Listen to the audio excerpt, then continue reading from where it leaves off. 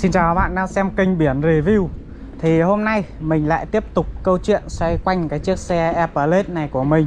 À, Thì à, cái chủ đề hôm nay mình muốn nói đến ấy, đó chính là cái câu chuyện là mình cảm thấy may mắn khi mà quyết định mua cái chiếc xe à, Airblade 2023 này trước à, dự kiến. Thì à, cụ thể là nếu các bạn nào theo dõi kênh của mình thì à, khoảng cuối tháng 10 năm ngoái à, là mình đã à, quyết định mua cái chiếc xe Airblade này 2023 rồi. Và đến bây giờ là thời điểm hiện tại là đang là tháng 4 năm 2024 vậy là cái thời gian sử dụng của mình à, trên cái chiếc xe Airblade này đến thời điểm hiện tại là mình đã sử dụng được vào khoảng 6 tháng rồi nha các bạn. Tính từ tháng 11 đi vì cái chiếc xe này là mình mua vào cuối tháng 10 à, tầm à, 25 đến 30 tháng 10 ấy, ngày ngày mua thì mình quên mất rồi. À, thì đến bây giờ là mình à, à đã sử dụng được vào à, khoảng 6 tháng. Mình cứ cho là 6 tháng đi. Và mức sử dụng của mình là vào 2.000 km à, xin lỗi các bạn là được hơn 5.000 km rồi. Thì hôm nay cái câu chuyện mình muốn nói là tại sao mình lại cảm thấy may mắn khi mà à, quyết định mua xe Apple Airblade à, 2023 này. Mặc dù đó là mua trước dự kiến của mình cơ Chứ mình là mình còn định để là để đến tận khoảng à, tháng 12 2023 mình mới mua cơ. Nhưng mà tại sao mình lại thấy là may mắn khi mua Là vì đầu tiên ấy Là khi mà mình à, mua cái chiếc xe Apple này Vào thời điểm cuối tháng 10 ấy à, Là khi đó là mình cũng à, gọi là Kinh tế mình cũng đã đủ rồi. À, Nhưng mà mình là lúc đấy mình có một cái phân vân rất là à, phải phải suy nghĩ nhiều.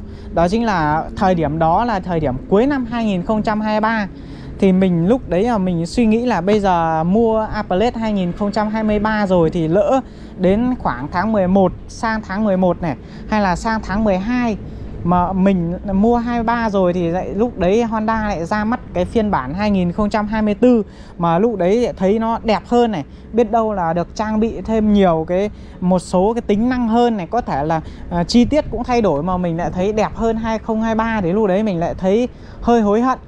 À, mình phải cũng gọi là đấu tranh tư tưởng rất nhiều nhưng mà cuối cùng thì mình vẫn chốt là vào cuối tháng 10 mình lấy chiếc xe này. Đầu tiên ấy là mình thấy may mắn ở cái gì?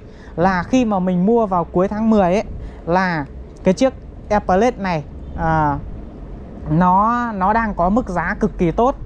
Và cái may mắn tiếp theo là đến thời điểm hiện tại là tháng 4 2024 thì Airblade 2024 à, phiên bản 2024 vẫn là một ẩn số mà hiện tại là chưa có thông tin gì là sắp ra mắt hay là bao giờ ra mắt cả.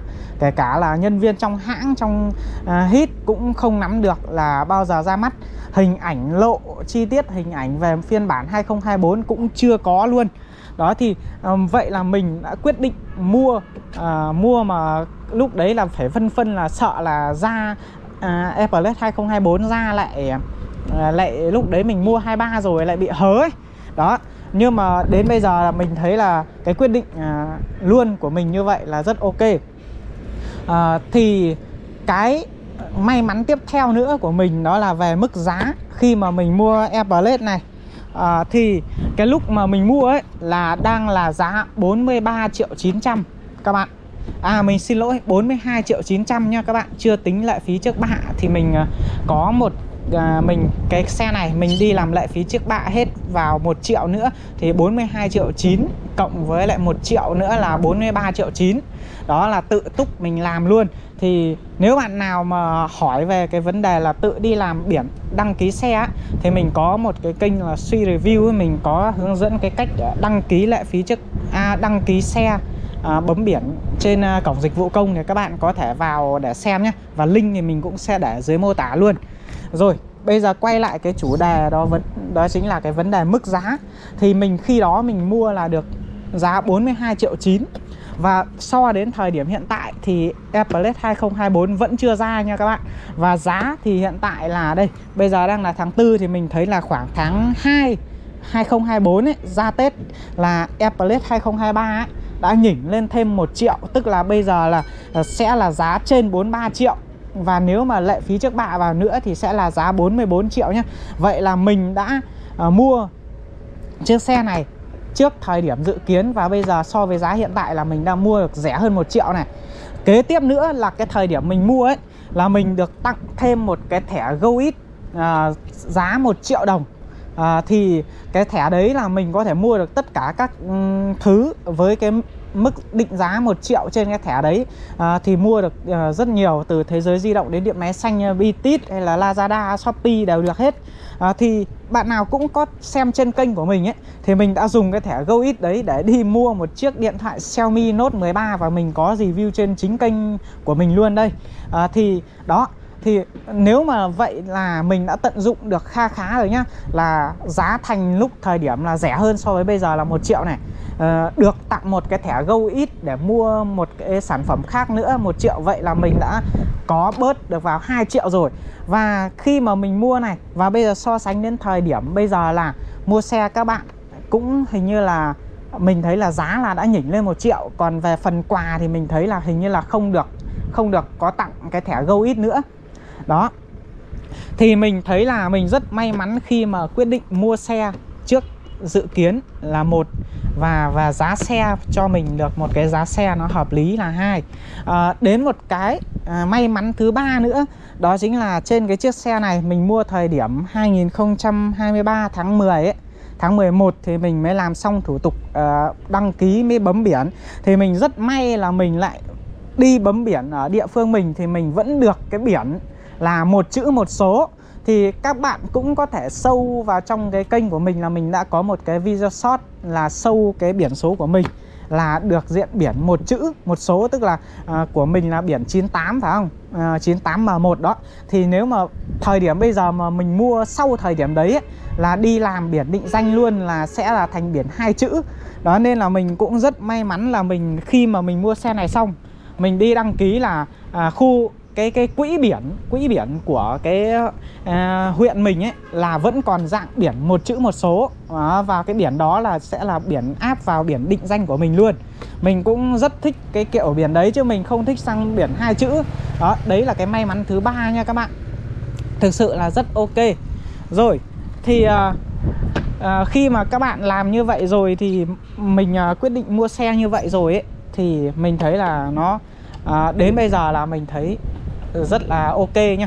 À, không mình cảm thấy rất may mắn khi mà à, quyết định mua xe trước à, dự kiến. Chứ còn nếu mà để mà khoảng đến tháng 12 mình mua ấy, là à, giá xe trong cái năm 2023 thì giá xe chưa tăng. Nhưng mà nếu mà mình để đến tháng 12 thì mình lại không được uh, một, tặng một cái thẻ mua hàng GoIt 1 triệu.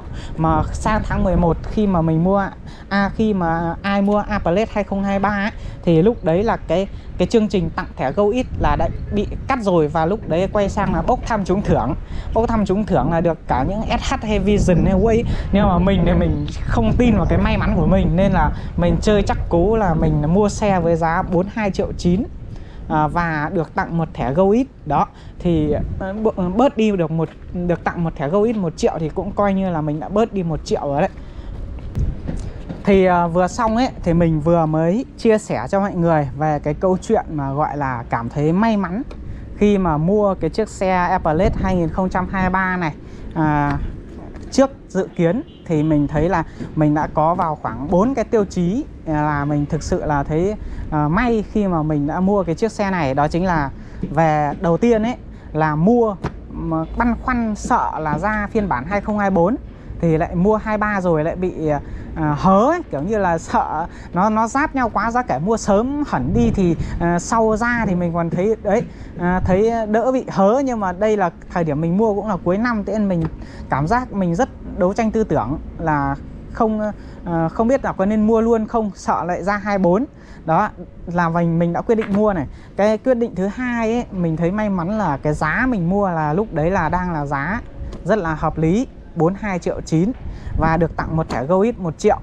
Rồi, cái may mắn thứ ba là mình thấy là à, mình mua xe vào thời điểm đấy thì mình mới bấm được à, mấy lúc đấy là vẫn bấm được cái biển một chữ một số nhá đó đấy là ba cái mình cảm thấy may mắn khi mà mua cái chiếc xe Airblade này còn về cảm giác vận hành ấy, hay là à, trải nghiệm trên cái chiếc xe này thì mình thấy là mình cũng đã ra nhiều cái video đánh giá và nhận xét về cái chiếc xe này rồi thì các bạn có thể xem. Thì mình thấy là đang chuyển từ xe số sang xe ga thì mình thực sự là mình chỉ thấy là nếu mà sau này mà có đi đâu đi đường đèo ấy thì mình thấy là hơi bất tiện thôi chứ còn lại là đi phố đi chơi ấy thì mình thấy là nó rất là ok.